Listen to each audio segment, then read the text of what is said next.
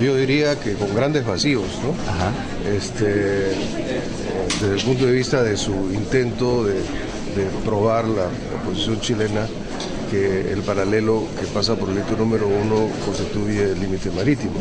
Ah, eh, hay desde nuestro punto de vista siempre, y con mucho respeto, hay grandes vacíos en su, en su exposición que nosotros lo vamos a hacer notar el día martes. Eh, sin embargo, parece haber habido algo interesante que vamos a comprobarlo cuando salga el verbatim, o sea, la transcripción. Y es que él habría dicho de que hay como dos alternativas, ¿no? Que podrían ser este, aceptables, se supone, para, quien la propone.